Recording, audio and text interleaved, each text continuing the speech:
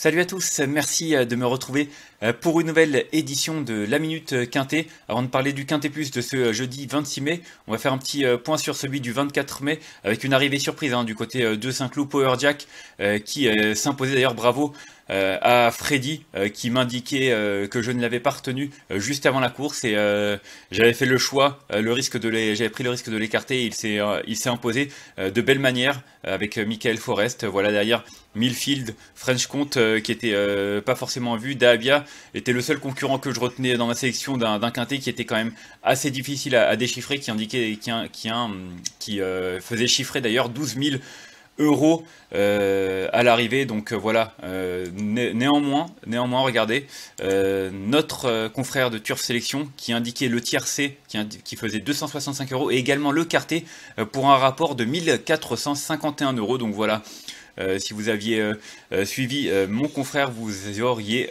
pu toucher l'un ou l'autre des deux rapports. Donc voilà pour le bilan de ce Quintet Plus. On va passer maintenant à celui de ce jeudi. Ce sera du côté de Longchamp. le Quintet Plus de ce jeudi 26 mai en nocturne. Hein. La Réunion 1 qui est une semi-nocturne et le Quintet Plus qui sera la septième course du programme. Le prix de Montretout. C'est une épreuve qui n'est pas un handicap. Pour changer, c'est une listed race, mais alors elle est vraiment ouverte. Hein. Les handicaps sont en général assez ouverts, mais cette listed race, euh, elle est encore plus ouverte. J'ai l'impression ils seront 14 au départ, 1600 mètres à parcourir. C'est pour des euh, chevaux de 4 ans plus. Il n'y a que des, mâles hein, qui ont répondu présent, aucune femelle au départ. 14 euh, concurrents donc sur 1600 mètres sur la grande piste de Longchamp. On va entrer directement dans le vif du sujet avec l'As Joe français que j'ai retenu en tête. Joe français euh, qui vient euh, de s'imposer dans la course euh, référence. Et c'était ici.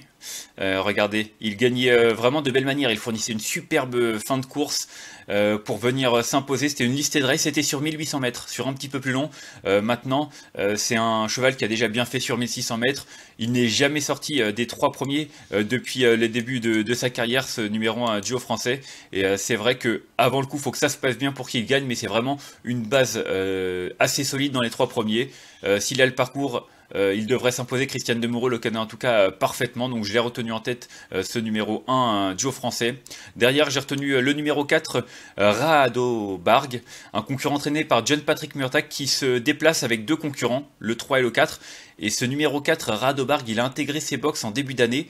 Et c'est deux sorties pour deux victoires. Et c'est vrai que sa première victoire pour sa rentrée, euh, il m'a vraiment beaucoup plu. J'ai revu sa course, il a transpercé le peloton euh, à mi-ligne droite pour venir s'imposer vraiment de, belle manière. Il y avait du partant, il y avait un lot bien composé. Derrière, il a confirmé toujours en Irlande en s'imposant euh, assez facilement dans un lot un peu moins relevé. Mais voilà, c'est un concurrent qui est en forme, qui s'entend bien avec son partenaire. Et je pense que John Patrick Murtagh effectue essentiellement le déplacement pour ce Radobarg et il devrait logiquement lutter pour la victoire. Ensuite, en troisième position, euh, j'ai retenu le numéro 8, Bois d'Argent. Alors, Bois d'Argent vient d'effectuer une bonne rentrée euh, du côté de Lyon. Il terminait troisième. Il faut savoir que l'an passé, il a terminé euh, son année par une victoire sur ce parcours dans une listed, en, battant, notamment le numéro 9, Géry, donc un concurrent qui a l'aptitude à ce parcours, qui va afficher des progrès sur une bonne rentrée qui est associée à Christophe Soumillon. Hein. C'est le tandem redoutable Graffard-Soumillon. ce numéro 8, Bois d'Argent, qui n'est jamais sorti également des trois premiers, un peu comme Joe Français, durant toute sa carrière.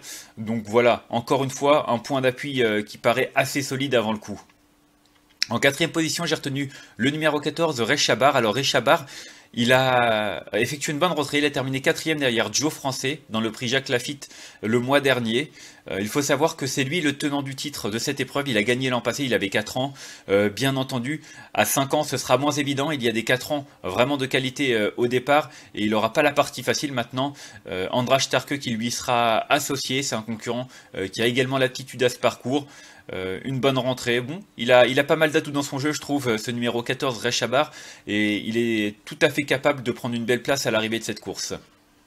Ensuite, en cinquième position, j'ai retenu le numéro 2, Fort Payne. Euh, lui a gagné euh, début mars du côté de Chantilly. Il battait notamment We Ride the World qui tente sa chance à ce niveau-là. Euh, après avoir remporté un quintet plus. Euh, c'est un concurrent la dernière fois qui a terminé quatrième, euh, c'était sur l'hippodrome de Newcastle. Hein. Le lot était bien composé en Angleterre. Il a des références, il l'a montré l'an passé qu'il était compétitif à ce niveau. je l'aime beaucoup. je trouve que c'est vraiment un concurrent qui a des moyens et qui a de la qualité. Et il fait vraiment partie des nombreuses possibilités pour les places et je l'ai retenu en cinquième position.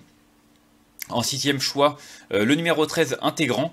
Alors lui, il reste sur deux sorties assez moyennes. C'était en début d'année sur l'hippodrome de Dubaï. Il a couru euh, de, des lots assez bien composés.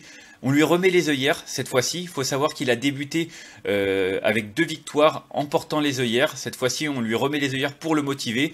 Euh, c'est une petite rentrée, mais avec Maxime Guyon et ce numéro 4 dans les stalles de départ, il me plaît tout particulièrement. Il est raccourci à l'occasion de cette épreuve. Je pense que c'est vraiment un trouble fait très amusant. ce numéro très intégrant, je l'ai retenu en tout cas en sixième position. Ensuite, en septième position, j'ai retenu le numéro 5, Longvillers. Alors, lui, il monte un peu de catégorie maintenant. Euh, son dernier succès sur l'hippodrome de Saint-Cloud était vraiment très plaisant. Il a gagné de trois, longueurs. Euh, l'impression visuelle était vraiment bonne. Euh, voilà, comme je l'ai dit, il monte de catégorie. maintenant, avec Grégory Benoît, la forme qu'il tient, je pense qu'il a tout à fait le droit de tenter sa chance à ce niveau-là. Et pourquoi pas prendre une place. Et enfin en huitième position, j'ai retenu le numéro 6, Milbosque, euh, le compagnon euh, de couleur de Longvillers, le second atout euh, de Gérard Augustin Normand. Alors lui, il a terminé seulement cinquième lors de sa rentrée, un petit peu décevant, il était assez joué. Euh, maintenant, Rosario Mandion le découvrait. Comme je l'ai dit, c'était une rentrée, il va certainement courir en amélioration. Et puis, il ne faut pas oublier que c'était quand même euh, le cheval qui a terminé troisième du prix du Jockey Club l'an passé, en battant notamment euh, des chevaux comme Pretty Tiger. Donc voilà, troisième de groupe 1, c'est une carte de visite quand même qui laisse assez rêveur. Et on est obligé de le retenir dans une sélection. Moi, j'ai retenu 8e, pardon, ce numéro 6, Milbosque.